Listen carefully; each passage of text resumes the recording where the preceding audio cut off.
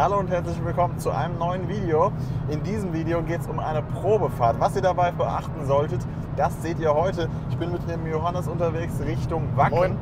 Ähm, also äh, relativ weit von mir aus. Äh, eine ganz schön lange Fahrt jetzt auf uns genommen. Jetzt sind wir fast da. Ähm, noch eine knappe halbe Stunde, dann haben wir das Ziel erreicht. Und dann schauen wir mal ein ja, hoffentlich zukünftiges Auto von mir an, ein 190e W201, was ihr dabei vielleicht beachten solltet. Äh, wir machen mal eine Probefahrt und und und. Äh, wird, denke ich, ganz cool. Ich freue mich auf das Auto. Ich hoffe, die Substanz stimmt, weil der Preis relativ gering ist. Und wenn das alles stimmt, dann nehme ich das auch mit. Rote Nummern habe ich mit dabei. Und dann geht es äh, damit heute wieder zurück. Also dementsprechend, let's go. Bis gleich. Ja, und so haben wir jetzt uns jetzt auf die Probefahrt begeben. Ähm, leider ist hier der Ton ausgefallen, deswegen spreche ich das Ganze jetzt nochmal einigermaßen nach. Ihr seht schon, das Lenkrad steht schief. Also das ist uns direkt aufgefallen, dass das Lenkrad wirklich nicht so ganz gerade ist, dass wir äh, die Spur gegebenenfalls nochmal einstellen müssen. Das muss gemacht werden, da muss geschaut werden nach der Achse. Wir haben ein Schiebedach, was elektrisch ist, was auch funktioniert, was sehr, sehr cool ist. Ein Viergang-Schalter. Ähm, ist nicht ganz so üblich, beziehungsweise äh, hier hat man ja lieber den, den Automatik genommen, aber bei diesen Modellen wurde eben oftmals an der, an der Ausstattung wirklich gespart. Deswegen haben wir jetzt hier nicht allzu viel, aber Schiebedach finde ich richtig cool. Man braucht dann auch keine Klimaanlage, ist nämlich nicht verbaut, aber das ist im Sommer wirklich ganz hilfreich, glaube ich. Wir haben eine tolle beige Ausstattung, ganz, ganz toller Stoff, tolle Qualität äh, nur die Türpappen. Also da gibt es Probleme. Die kommen so ein bisschen hoch, die sind nicht mehr ganz so schön. Wir haben aber 25.000 Kilometer, was wirklich wenig ist für das Baujahr. Ähm, 1990er Baujahr. Das ist wirklich, äh, also da kann man nichts sagen. Wir haben hier ein Lämpchen an. Ähm, ab und zu. Ich weiß jetzt, jetzt nicht, ob man es sieht. Und zwar von dem Wasser, von dem Kühlwasser.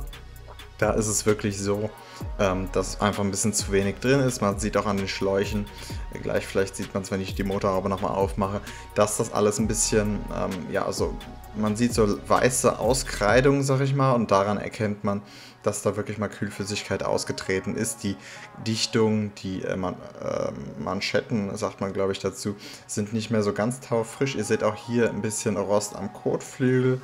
Äh, was heißt ein bisschen? Also der muss auf jeden Fall komplett neu, der ist durch an der Stelle. Und ähm, ja, hier sieht man es auch nochmal, da ist wirklich schon ein Loch drin. Ist, muss man entsprechend raushandeln dann vom Preis, was will man reinstecken oder will man ein perfektes Auto haben. Ich wollte ja wirklich noch einiges hier dran machen. Wie gesagt, bald gibt es auch das erste Video von der ersten Wäsche von dem Fahrzeug. Ist, denke ich, richtig cool. Ähm, sind wir jetzt gerade dran. Und ansonsten von der Silhouette gefällt mir persönlich der Wagen halt wirklich, wirklich gut. Ähm, wie gesagt, jetzt hier gerade an der Probefahrt alles mal durchschauen. Scheibenwischer funktioniert nicht, ähm, da müssen wir nachschauen. Ähm, und jetzt hier wirklich mal überall unten äh, reingucken, äh, Wagenheberaufnahmen durchschauen, dass da nichts durchgerostet ist. Das ist wirklich so das Wichtigste. Jetzt mache ich auch nochmal die Motorhaube auf, um zu schauen, sieht der Motorraum soweit ähm, gut aus. Ist da irgendwo Öl ausgetreten, gegebenenfalls sind da irgendwelche porösen ähm, Schläuche und und und. Einfach mal so grob drüber schauen, rackelt da was, wackelt da was, kreischt irgendwas, klappert was. Das ist halt wichtig, so die ganz üblichen Sachen, wenn man sich eben ein Auto kauft. Wie gesagt, äh, Kühlflüssigkeit ist hier ein bisschen zu wenig drin. Und dann wirklich nach dem Öl mal schauen. Ähm, hier den Öl ähm, Einfüllstutzen quasi mal aufschrauben, schauen, ist das Öl schmierig, ist das schleimig? Äh, wenn ja, dann deutet das auf ein Kurzstreckenfahrzeug hin. Ist immer nicht so cool. Ähm, wirklich schön wäre es, wenn das klar ist und nichts ja, weiß ist oder ähnliches. Ähm, wir sehen hier, die Zündkerzen wurden, glaube ich, mal beschriftet. Das heißt, die wurden mal gewechselt ist grundsätzlich ein, ein, guter Punkt, dass die mal neu gekommen sind. Sollte man sowieso regelmäßig nachschauen und wir sehen natürlich Verschmutzungen, Extreme, die wir dann, ähm, falls wir das Auto kaufen sollten, in der nächsten Wäsche dann entsprechend beheben können. Und dann kann man natürlich wirklich schauen, grundlegende Sachen. Licht, funktioniert das alles? Reifen, wie alt sind die? Hier seht ihr Schimmel am Sitz, das müssen wir auf jeden Fall beheben. Da ist, ähm, ja, Wasser eingetreten, gegebenenfalls.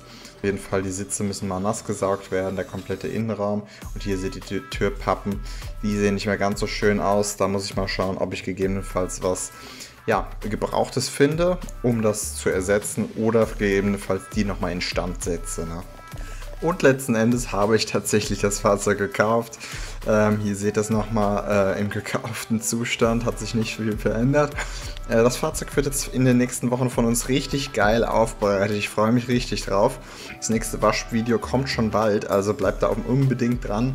Äh, freue ich mich richtig drauf und Ihnen muss auch einiges passieren. Also klickt unbedingt die Glocke und den Abo-Button, um da nichts mehr zu verpassen. Habe ich richtig Lust zu, passiert richtig viel. Ähm, wird, denke ich, ein cooles, cooles Projekt, freue ich mich drauf. Dementsprechend würde ich sagen, haut rein, macht's gut und bis zum nächsten Video auf Auto Lifestyle. Ciao, ciao, euer Jakob.